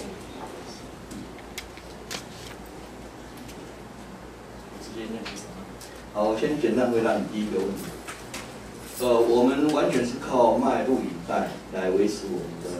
维持我们的开销嘛哈。那你提到说刚开始那八十个，那大部分就是呃朋友啦哈，还有呃一些比较就是，因为我们也有透过党外杂志，透过党外杂志做一做一个简单的广告，也有一些是这样子的人哈，一定的。那大部分还是自己的一些朋友啦，会支持我，就是半年嘛，我们把自己目标也定半年，半年弄不起来也只好就算了啊，就是。那你提到另外一个问题是说，呃，拷贝我们的录影带这个问题啊，这其实我们真的是一点办法都没有啊。照说的话，他们因为我们袋子送给他们，他们也有定啊，比如说你这个服务处拿个五十只多少只啊，照说你你应该继续跟我们进袋子，啊，那可能就有些像你讲的哈，他只是拷贝的，我们一点办法没有，我们根本没有办法去处理这个事，而且更糟糕的是，恐怕连前面的五十袋子哈，常常是变成是呆账，啊，啊，你去，因为其实当时的呃这些服务处或怎么样运作都还不是很上轨道，有时候去收账，他说，那有啊，进前面还有一个照一个你记得我哪在，啊，类似这样的东西非常多，那我们其实没有办法，我们自己本身也还不可能做到说一个很完善的一个。那个营那个那个那个营运嘛，哈，要怎么样子？像这些东西我们都是蛮头痛的。那第二点是讲到，哦，那个当时是这样子没有错的哈，就是大家都非常期待，因为解严了嘛，报纸也解严了嘛，哦，也可以办报纸。但是碰到电台、电视台，他绝对不放，啊，他就给你国民党就永远就说没有频道，奥国利起利安嘛，他就是这样子啊，都去播嘛，他就是跟你讲，就是没有频道嘛，那你反对党或什么，你你你就说你偏偏就是有啊，怎么会没有呢？问题是阿德伯伯你艺术的，光阿伯你你你放来看看吧，有点那么一个味道说，就是你没有办法啦，哦，阿里不要多啊。那其实我们去了解说绝对有，啊，这，但我们就这个东西我们其实筹备蛮久，但是这个事情只能做不能说嘛，哎，筹备了方非常久，那后来就准备这个东西也是要在选举的时候再把它弄出来，就一九八九年后来决定就是在尤青的尤青选台北县长，这是当时选举的一个指标的一场。就在那边放，啊，当然这个过程其实也没太多时间，我简单讲一下哈。这个东西就是，呃，这机器其实没有那么那么的了不起来啊，它不过就是一个天线啊，是一个放射的天线啊，而且它不大，不上那么高，那么一点点啊。然后你要一个一个放映的东西经过就出去了，就这样子啊。然后你把频道设设定在当时。频道就是台式、中式、华式，一般来讲七九十一啊。那我们就是像像已经决定要播了啊，尤其那边就会呃进人服务处就会宣传师就出去了，一直讲啊。哦，当时该戏我记得是几号几号播，忘了几号开始播了，选举前三天开始播，那一天哦几点哦，绿色电视台要开播。那你就把你家的电视频道转到十三号，转到十三就收到。呃，转，当时呢，就是我们就把了把一台电视摆在流星技能总部的外面广场，哦，然后民众过去看，有影无看线咧，拢无，哦，刚刚电线尔，无天线，哎，无无无有有线的线拢无，影无，大家就期待期待。期待讲尽量可以到可以。啊，那一台范围很小，其实只有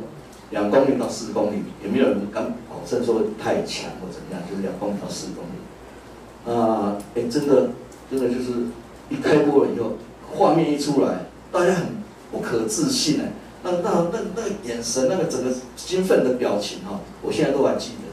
那种可怜，哎，那修一点，然后马上呢就是。就是电话就是一直打进来了，然后有些总部进来，修掉啊修掉，最远的竟然是在内湖，哦，这有点奇怪，我想会不会他那个乱讲哈，啊，反正就是收到了，可是呢，国民党奥博啊，十分钟以后是那种大停电，那一区整个大停电，但是这个东西已经彼此都演练太久了，尤清的那个。上大台发电机早就准备啊，啊，拢无用着，应该就用着啊，马上用，哎，我们发射没有问题，哎，照样发射出去。但是倒霉的是附近的居民，看不到啊，看不到，至少在又跑到跑到总部来看，这总部更热闹，哎，更热闹。哦，出去绕了一圈，后来因为大家都哎觉得都运作了蛮，因为记者会开了蛮久的嘛，那时候是黄信介。黄信介是当主席嘛？黄信介主持的，黄信介笑到那吼，我我一上来笑他，哦，我就去追绕一下，看到有一台有一家电器行，他就把他的那个装电池那个小电池啊，不知道大家有没有印象？小小的，好像还是黑白的，就搬到店门口，因为很多人停电了没去乱看啊，搬到走廊给大家看，蛮有趣的，但真的就是发射出去。就这样子，你就颠覆了国民党的谎言嘛？啊，其实就这么简单啊！你不用跟他争那么多啦，因为这个是很好的一个议题。每次选举就，每次选举，每次选举一定大家都提出来的一个。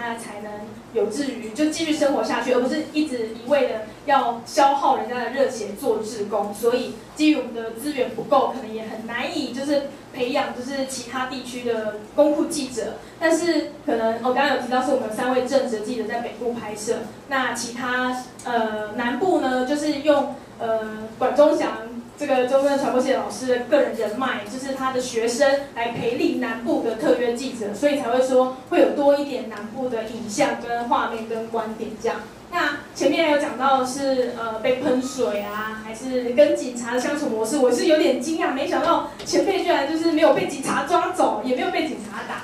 有点惊讶，就对，有点压抑。然后原来是因为是两方壁垒分明。可是，在现在公库记者或其他的记者在现场，其实呃没有那么壁垒分明，就是收证的当然就是完全就在人群当中，甚至穿便衣，你根本分不出来他是警察还是抗争群众。那像我们公库记者、其他的网络媒体记者、一般记者，你混在人群里面，你也不会知道他是抗争群众还是记者，因为你不会看到他的脸就说哦这个是苹果，你不知道哦，你也不会看着我的脸，你可能就是觉得我是某个大学生去现场声援而已哈。所以我也是呃没，就是我就是没想到在我在公库有第一次被女女警抬离抗争现场，因为他以为我是抗争者。再来就是更惨的是，我以为呃没有没有更糟，只有最糟，就是还被警察就是带到信义分局留置三小时这样子。那呃这个经过其实是非常的，就是一个误会，然后而且其实很无聊。它是在发生在台北市政府的一个会议，那。呃，也就是说，当时有抗争群众用的灭火器喷了当时的委员，然后对于这个当时警方来说，天哪，居然有人做出这么恶劣的行为，喷灭火器也喷到委员脸上，这样，所以他们觉得现场所有的人都是嫌疑犯。这个前因后果就先不谈，就是一个很无聊的会议。总之就是在背，就是有抗争群众在抗议说你这个是不是黑箱，所以就用了灭火器。结果呢，我因为我们说拍摄的时候一定，如果你拍的不够好，因可能是你离这个受访者或者离事件不够近，当时我离得太近了，我紧跟着一个抗争者，一个呃被抬走的抗争者，跟着他离开，结果就被警方认为我我也是嫌疑人之一。他说你是哪里的？你是记者哦，你不能离开哦，因为现在发生了这个案件，所以你你要跟我们回去警局。他不相信我是记者，然后一边就是。一边讲的很荒谬的话，然后一边就是要把我带离，而且一边还推开我的，就不让我拍，然后叫我先关掉，先关掉之类的，就强制把我带回了警局三小时。可是这过程当中，我一直给他，甚至我的身份证，我说你就记没关系，然后我留资讯给你，就是放我走。但是他就说不行不行，就是基层员警都不敢做任何事情，只有就是上面的分局长下令，他们才敢放人。结果到最后是荒谬收场，就是待了三个小时之后，分局长就说：“哦，因为有议员在现场，议员就说这个娟如是记者，你怎么把他留置下来？”就分局长说：“哦，娟如是记者，那当然可以离开啊。”所以我就默默的三小时之后，新义分局就待了三小时之后就离开了。这件事情，新义分局其实最归根究底就是他不知道你是谁，他也不认识公库，然后也不觉得你是个记者。所以就把你抓起来。那事后发现是个误会，那就算了，当做没这一回事。那其实非常也是很不足的，真的是要下班之后去喝一杯酒这样。就是每一次你想想你的人身自由没事被限制三个小时，然后不问任何理由，只是把你当成嫌疑人，把你当成抗争者啊。所以在公库就是会遇到这样的事情。那其实我还哎这边也要问大哥，就很好奇一点，像我们在面对政府或面对。面对官员的时候，其实以前官员都不甩这个呃公民记者或是一般的记者、网络媒体记者，不认识他不甩你，啊就觉得不知道你哪里来的。可到最后呢，他们觉得很多记者、网络媒体记者越来越多，另类媒体越来越多，他们开始会慢慢的想要呃讨好或是收编，不管。所以呃我们我们经常是官员的声音跟人民的声音，其实也是两面并存。那我看过前辈拍的影片是反五星的，就是不知道就是。呃，前辈在拍摄官员的讲话多不多，或是拍得到吗？还是那个状况怎么样？因为那个反五清的时候是有经济部次长出来回应说，如果你们人民要反五清嘛，但他就说我们要发展经济，就是要牺牲一些人啊，就是你们就是有些人一定要痛苦啦，就直接很坦白的这样讲。我也是觉得还蛮敢讲的。你可以请前辈回应说，又拍很多官员的话。我们不太可能直接去找官员做采访，有。但是非常少，所以你讲的那个李模啦，李模，哎，李模今天不等他出来，他那是在公共场合讲的，就是抗议的时候他出来，他直接这么讲，而不是我们去访问。那你刚刚讲哈，真的我也觉得不要跟得太近。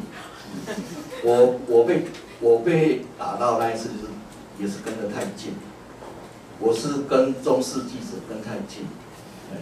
那次是有一个抗争的晚上在立法院。后来不知道怎么搞的，立法院前面有椰子树，有一棵就烧起来了，哎，烧起来。啊，中视的记者就过去拍，哎，他一打灯，我说哇，机不可失，赶快跟过去。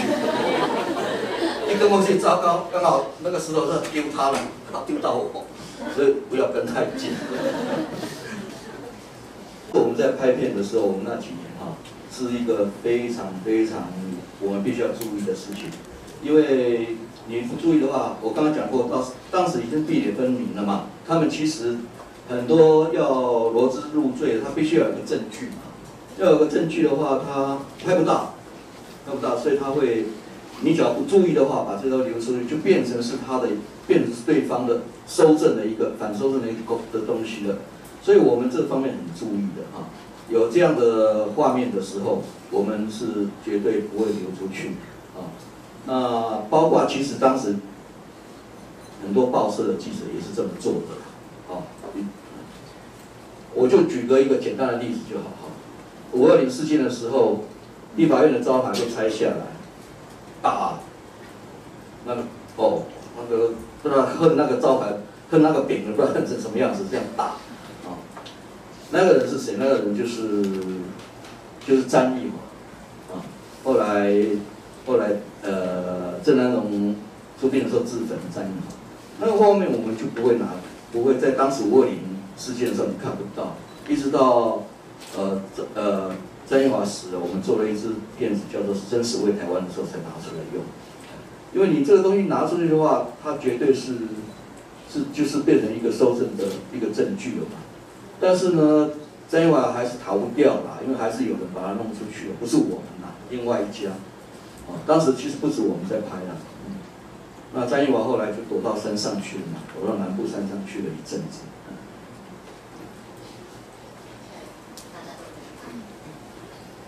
嗯，是这样，就是收证这个事情，就是发生在太阳花。啊，如果大家有记忆犹新，就是太阳花不是办了一个摄影展，在那个立法院周边，很多人去看。然后那个摄影展上面只要有民众的头都打上马赛克，所以那个马赛克就是变成是马赛克太阳花展，不这样开玩笑，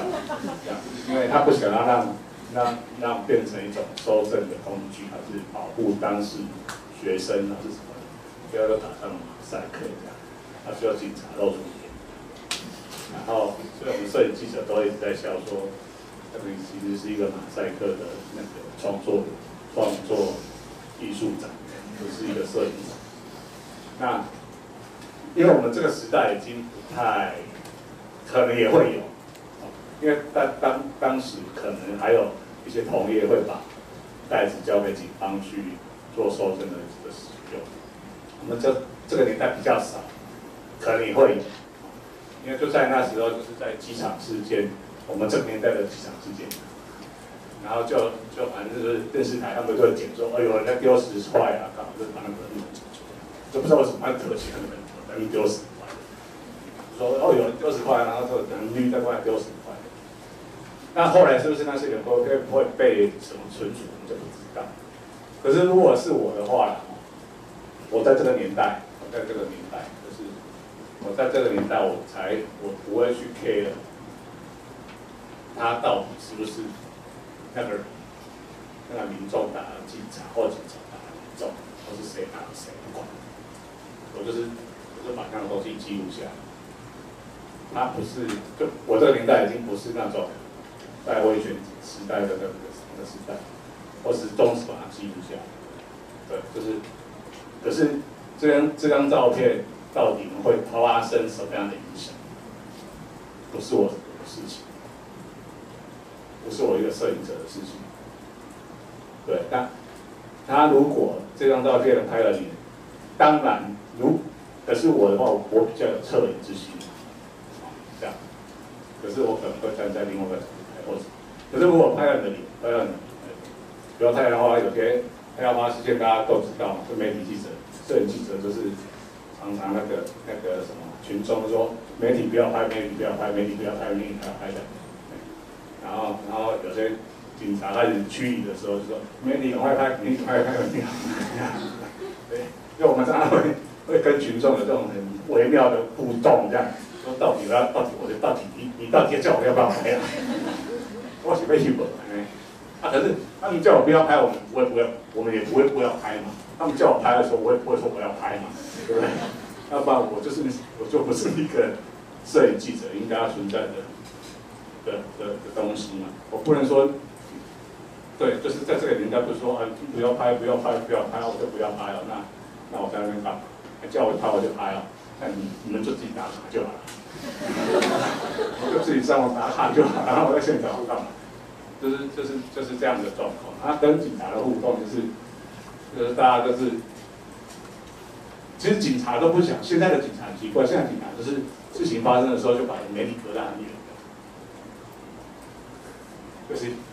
就是咱每天都做乖啊，你你那弄一个红绳甲你过啊，那可爱叫我们叫它可爱动物区嘛，啊，我拢是可爱动物区安尼吼，啊，就是遐可爱的动物区，遐咧，遐咧做展示，然后，所以就是那个可爱动物区，对对对对对，就是像性感功夫的做这个，水手画，对对对，我们都有那个可爱动物区。那现在现在跟我们跟媒体跟警察的关系就是很奇妙，就是以前是有红绳，有这个蛇龙，而现在警察对媒体记者的想法就是红绳不管，还会没一个有一个封锁线。那比较现在原来是我们那个学生冲进去进去，他第一第一时间驱离的不是民众是记者，就是他他不想不想让这个。那个媒体的效应传播出去，对，那他也不想要让让太多人知道里面到底发生什么事情，或者是那个反克刚不是有记者进去，然后被抓去关，送去教育部然后被关，限制发稿、这些通讯这些什么，然后被抓去有制现场，对，所以那个是就是我们这我们今年我们现在对抗不是那种党国体制下的威权，而是我们现在对抗的是一种。我们大家对抗什么？我们要对抗好像是那种很有形而无形存在的那种红龙死一样。对，那我们在对抗的是这种。他自己是至于到底，我们是媒体记者在现场，或者说了在现场，你到底是不是对这个红龙神有什么看法？你要你敢不敢越过红龙神一步这样？你要为玻璃人，你要在离开花找一个龙脉龙脉。但是你红龙神呢，外头拢翕无，就是拢拢翕无，你知道？就是说都完全拍不到画面了，就就太远了，要隔把你隔很远，就是那个在华光时，哎，华光对华光事件的时候，就是他第一个清清理现场的都是媒体。对，我觉得我在对抗的现在是对抗这种，而且他不不要让你传播，可是为什么？请你媒体，我这个现场还我还搞不清楚，明明就很多人在打卡，为什么要检查？就是对我的我的意思就是说，他如果不愿意把，因为很先先拜一张准选说网络这个比较，一张课，他先进后来 B B 扣，对吧？目标这种 B B 扣啊，对吧？B B 啊，大家看，我我我也跟你改进，报下来吹，我嘛是有 B B 扣。啊，我等我即摆已经群众运动一定是一个网络飞快即时的时候，如果警方、警察、政府不想让抗议者的的声影像传出去的时候，你把媒体记者可能就是不好的呀。你在外，就是，我是感觉这个传播科技的发达，一个不需要再把，不需要再把这个事情这样子搞的那种。台湾这个行人头路的，讲讲讲讲同你无头路，对咯？我也是打卡得啦，我啥？就是我拢买无头路啊，就是啊，我我我感觉这这时代上的确定不确定性，虽然前面很努努力把那个砖墙推倒，可是忽然发现后面还有个砖墙。你好，老师洪龙生。啊对啦，后边倒倒倒着物件，那下落倒安尼。啊啊！红龙城啊，下得了，可能都后一来都有一个物件造出来，啊，物件摕出来下。所以是前人人拢感觉足足不准的，迄迄迄位置拢愈愈起愈悬，感觉安怎？就感觉这就是按按按这个重点听，伊现场到底是做啥物？就是威权岛，啊，红龙城都造出来。后后一段时间，咪就倒出来，安尼就甲会晓倒。啊，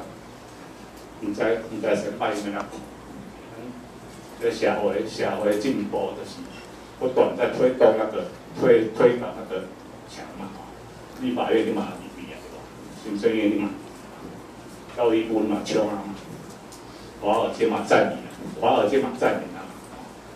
啊，过来啊到底是要创啥呢？啊，总统府啊，总统府会防这样呢？就是就是这个这个围墙会一直在那边啊，就是围墙会就一直在那边这样这样这样。那、我们摄影记者到底要干嘛？就是一个每个时代有每个时代，他必须要去想办法哈，去像你讲的红龙城，我觉得我是没有办法理解啦，真的没有办法，有些红龙绳好像一扯就断了。那 因为我不太懂，我不太懂现在他们的问题是在哪里。但我想每个时代有每个时代，你必须要自己去思考哈，怎么样去，尤其是作为一个传播啦，我是这么想啦，想办法去传播吧。偷偷补充回应，就是现在问题就是我们都太乖了，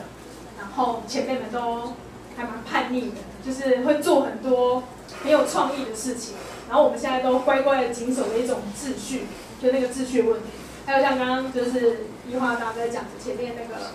封锁的问题哦，那个封锁线问题，甚至是自己封锁自己的概念，就是犹如这张我随意画的一张图，就是南港瓶盖工厂在拆迁，有一些人要去守护那个地方，所以他们就站在那个被拆到一半的废墟上面。那结果呢？现场的工地的大哥们就说那边很危险，你们不要过去。但因为他们要守护那个文文化资产，所以他们一定会在这边。那我们这些网络媒体啊，或这些另类媒体，在第一时间我们就已经冲到现场去拍摄他们在现场喊口号啊，然后捍卫这些文化资产的时候，我们就早就跟这个废墟还有跟他们在一起。然后纵使他叫我们一直离开，我们会说啊，这就是一个新闻现场啊，我们不能离开，所以我们就乖乖在那边。结果呢，他们就开始拉起了封锁线。那有比较晚一点才知道的主流媒体电子摄影大哥进来了，然后呢，里面的工地人就说现在不能进来哦，你们进来就是违法，因为这是一个呃，这是一个建设中的工地，如果你们进来就是就是违法这样。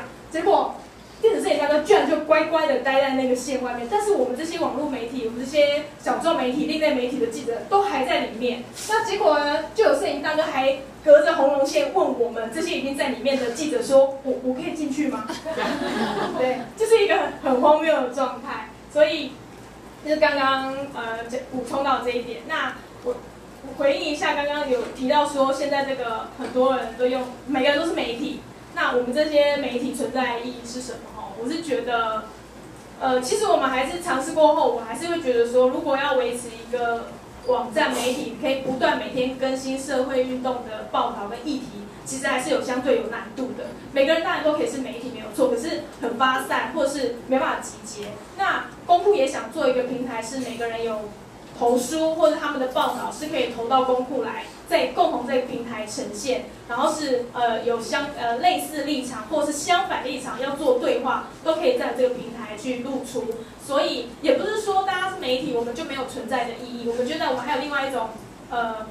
呃像像平台的意义也不错，就是让大家一起来发表大家的意见。自己的脸书也是一个平台，那可是谁要去你的脸书看，或是我们是很致力于就是推广我们的。呃，名号让大家知道说可以来看这个媒体，可以集中一些讯息，也许就是一种集中吧，这样子。大家可以做一点总结，就是关于小众媒体怎么生存，做一点，就是后来延续结束之后。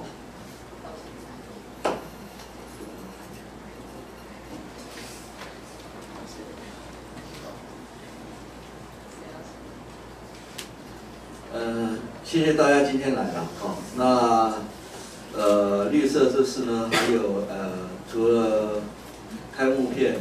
野百合》以外，另外还有二十部片，总共二十一部片，啊，都在这次影展都有放，每一场每一部大概都有两次的机会，呃，就希望大家可以过去看，但是看就好啊，不要在那跟着喊口号哦，谢谢。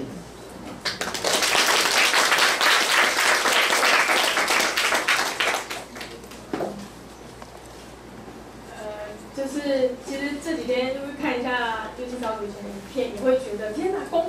以前，零七年一开始的第一支影片画质跟他们差不多一样差这样子。我用过那个袋子，我用小的 DV 袋，然后到数位，就是也有刚好用过袋子，然后到现在这样，所以觉得有趣。以前影片也是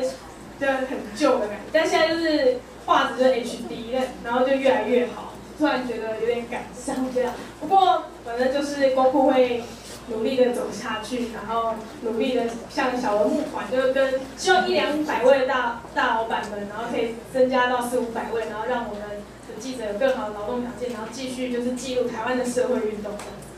谢谢大家。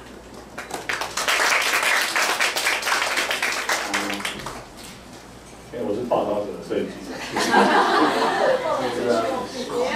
是不是要跟也要宣传一下报道者？一分钟的时间。那因为因为我做了，做过很多工作了，像广最早以前做广播电视台，在地下电台的时候，啊，做很多奇奇怪怪的动作，然后最后到报道者这个这个地方来。那很高兴认识两位前辈，因为。如果不是有两位前辈记者小组的的把这些珍贵的影像记录下来的话，我们永远看到的历史都是某一个面向的历史。